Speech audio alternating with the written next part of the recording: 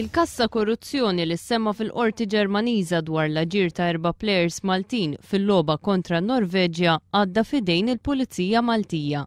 Skont ix-xhieda fil-Qorti żewġ persuni Kroati avviċinaw il-plejers mit-tim nazzjonali Malti biex jinfluwenzaw ir-riżultat tal-logħba kontra n-Norveġja li ntlagħbet fl-2007. Il-President tal-Assoċjazzjoni Maltija tal-Futbol, Norman Darmanin De Maio qal lil One News li l-MFA diġà għamlet kuntatt mal-Pulizija u talbet laqgħa magħhom. Iżda l-ewwel ħaġa li trid issir hija l-konferma tal-fatti li ħarġu mill-Qorti Ġermaniża dwar il-plejers tat-tim nazzjonali Malti. L-MFA se tkun qed tgħaddi l-informazzjoni li għandha s'issa u dik li jista' jkollha fil-futur. Norman Darmanin De Maio qal li l-MFA għandha l-obbligu li tagħmel dak kollu li tista' biex tara jekk hemmx verità f'dak li qed jissemma.